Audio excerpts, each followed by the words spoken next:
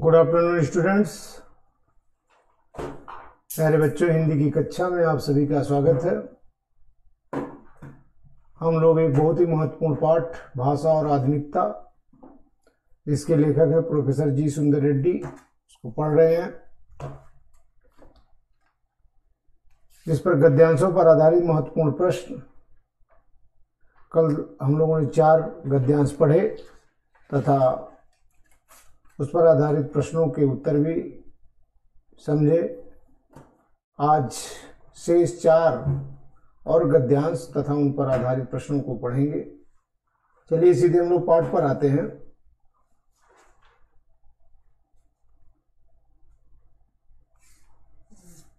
चलो, कोई बात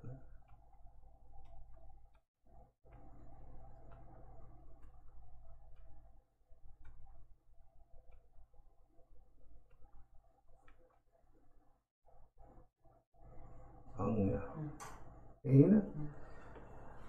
कभी कभी अन्य संस्कृतियों के प्रभाव से और अन्य जातियों के संसर्ग से भाषा में नए शब्दों का प्रवेश होता है और इन शब्दों के सही पर्यायवाची शब्द अपनी भाषा में न प्राप्त हों तो उन्हें वैसे ही अपनी भाषा में स्वीकार करने में किसी भी भाषा भाषी को आपत्ति नहीं होनी चाहिए। यही भाषा की सजीवता और भाषा की सजीवता इस नवीनता को पूर्णता आत्मसात करने पर ही निर्भर करती है। देखिए, बहुत बड़ा पैसेज नहीं है, बहुत बड़ा अनुच्छेद नहीं है। उपयुक्त गद्यांश का संदर्भ लिखिए, पहला प्रश्न। तो संदर्भ हम जानते ही है, इसमें पाठ का नाम, उस लेखक का नाम। अथवा गद्यांश के पाठ एवं लेखक का नाम लिखिए। रेखांकित अंश की व्याख्या करिए। कभी कभी अन्य संस्कृतियों से लेकर प्रवेश होता तक, यहाँ तक जो है रेखांकित है इसकी व्याख्या। भाषा की सजीवता के लिए क्या आवश्यक है? लेखक के अनुसार भाषा किस प्रकार समृद्धि होती है?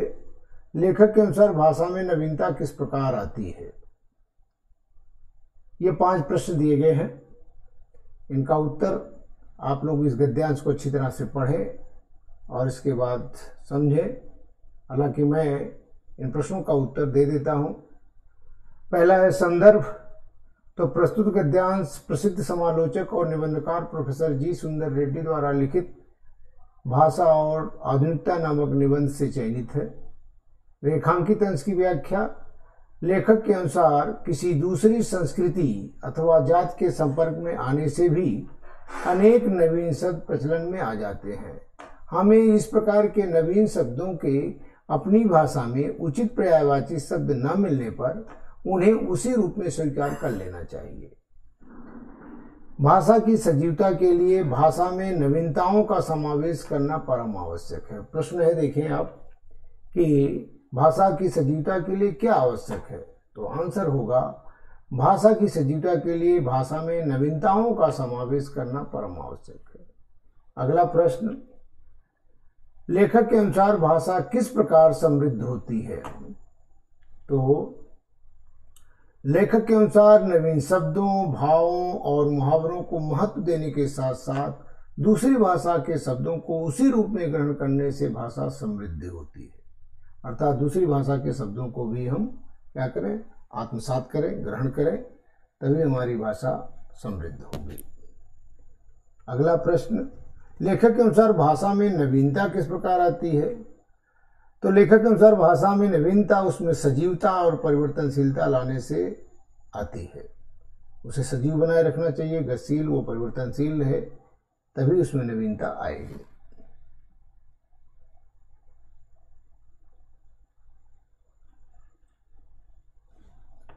चलिए अगला, गद्यांश।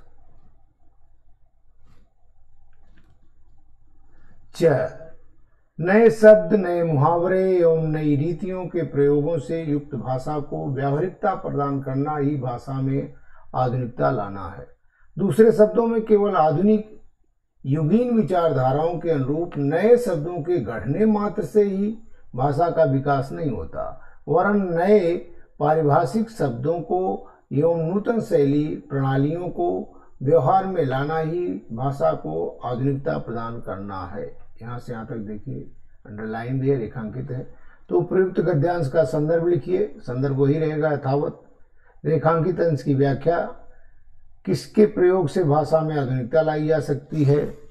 किसके गढ़ने मात्र से भाषा का विकास नहीं होता? उपयुक्त गद्यांश के माध्यम से लेखक किन बिंदुओं पर प्रकाश डाला है? तो उत्तर देखें। संदर्भ होगा प्रस्तुत गद्यांश, प्रसिद्ध समालोचक और निबंधकार प्रोफेसर जी सिंधु रेड्डी द्वारा लिखित भाषा और आधुनिकता नामक निबंध से चयनित है। रेखांकित अंश की व्याख्या। लेखक का कथन है कि केवल नवीन शब्द गढ़कर ही भाषा को आधुनिक नहीं बनाया जा सकता। अगर हम नए नए शब्द केवल गढ़ लें अपने अनुसार तो भाषा समृद्ध नहीं, वरन भाषा को आधुनिक बनाने के लिए आवश्यक है कि हम नवीन पारिभाषिक शब्दों एवं नवीन लेखन शैलियों पर आधारित लेखन पद्धतियों को प्रयुक्त करें, उसका प्रयोग करें।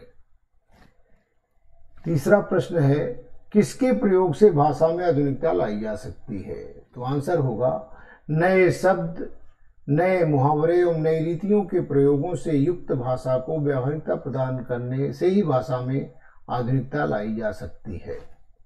अगला प्रश्न, किसके गढ़ने मात्र से भाषा का विकास नहीं होता? तो आंसर होगा, शब्दों के, नए शब्दों के गढ़ने मात्र से ही भाषा का विकास नहीं होता अगला प्रश्न उपयुक्त गद्यांश के माध्यम से लेखक ने किन बिंदुओं पर प्रकाश डाला है उपयुक्त गद्यांश के माध्यम से लेखक का विचार है कि भाषा में आधुनिकता लाने के लिए यह आवश्यक है कि नवीन शब्दों, नवीन मुहावरों एवं नवीन रीतियों के आधार पर भाषा को व्यवहारिक बनाने के प्रयास किए जाएँ।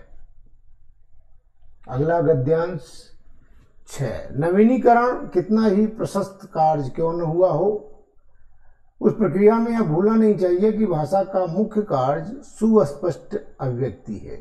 यदि सुस्पष्टता एवं निर्दिष्टता से कोई भी भाषा वंचित रहे तो वह भाषा चिरकाल तक जीवित नहीं रह सकेगी। नए शब्दों के निर्माण में यह भी यह बात सोचनी चाहिए। इस संदर्भ में यह भी याद रखना चाहिए कि हम पूर्वाग्रहों से मुक्त होकर उस शब्द की मूल आत्मा तथा सार्थकता पर उन्मुक्त विचार कर सके। पाठ का शीर्षक एवं लेखक का नाम तो पाठ का शीर्षक भाषा और आधुनिकता लेखक का नाम, प्रोफेसर जी सुंदर रेड्डी। रेखांकित अंश की व्याख्या। चलिए रेखांकित अंश की व्याख्या देखते हैं। तो पहला पाठ का शीर्षक हो गया, लेखक का नाम। रेखांकित अंश की व्याख्या। लेखक के अनुसार भाषा का प्रमुख कार्य भावनाओं, अनुभवों तथा विचारों की अभिव्यक्ति है। यह अभिव्यक्ति नितांत स्पष्ट होनी चाहिए। यदि किसी भाषा में स्पष्टता का गुण नहीं है अथवा भाषा में निर्देश देने की क्षमता नहीं है तो ऐसी भाषा बहुत समय तक जीवित नहीं रह सकती। अगला प्रश्न है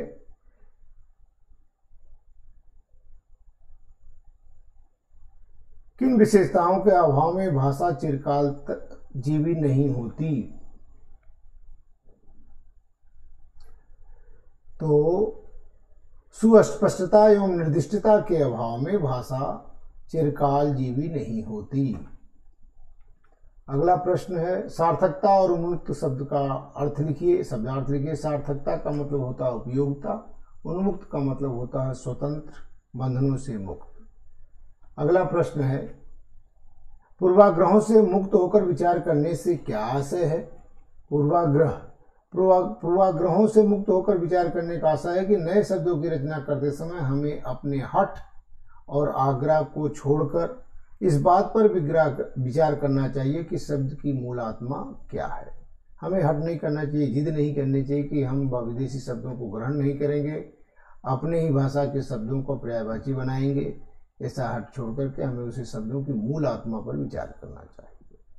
अगला प्रश्न है, उपयुक्त अवतरण के आधार पर भाषा का क्या कार्य है? तो भाषा का कार्य है स्पष्ट व्यक्ति। तो उपयुक्त अवतरण के आधार पर भाषा का मुख्य कार्य है सुस्पष्ट अभिव्यक्ति। नए शब्दों के निर्माण के समय किन बिंदुओं पर ध्यान देना चाहिए?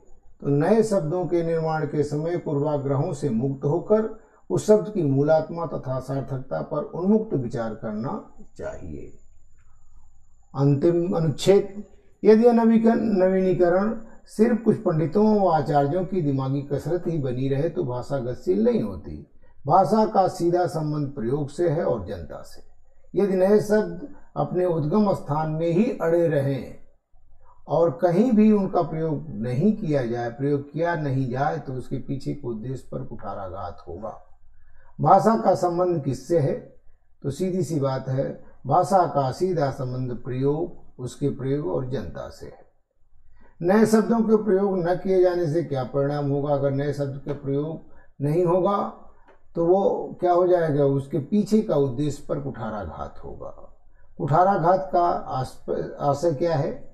कुठाराघात का आशय है। देखिए, भाषा का सीधा संबंध प्रयोग जनता से, नए शब्दों को प्रयोग नहीं किया जाए, उसके पीछे के उद्देश्य पर कुठाराघात होगा। यहाँ कुठाराघात सबसे आशय भाषा जिस दिन स्थिर हो गई, उसी दिन से उसमें क्षय आरंभ हो जाएगा, वो समाप्त होने लगेगी।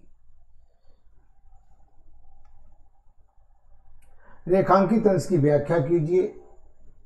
तो भाषा का सीधा संबंध प्रयोग और जनता से है तो इसका रेखांकित अंश की व्याख्या लेखक के अनुसार जो भाषा जितनी अधिक जनता द्वारा स्वीकार एवं परिवर्तित की जाती है, उतनी ही अधिक जीवंत एवं चिरस्थायी होती है। एक पाठ का लेख, शीर्षक एवं लेखक का नाम तो पाठ का शीर्षक भाषा और आधुनिकता लेखक का नाम प्रोफेसर जी सुंदर रेड्डी। प्यारे बच्चों, आपका एक महत्वपूर्ण पाठ समाप्त हुआ। आप सभी लोग अच्छी तरह से इन प्रश्नों का अभ्यास कर ले, एक बार अच्छी तरह से इसको पढ़कर और समझ ले। यदि कहीं कोई परेशानी होती है, समझने में कोई दिक्कत आती कठिनाई आती है तो ज़रूर संपर्क करें। हमसे किसी भी समय बात आप कर सकते हैं। Thank you all the best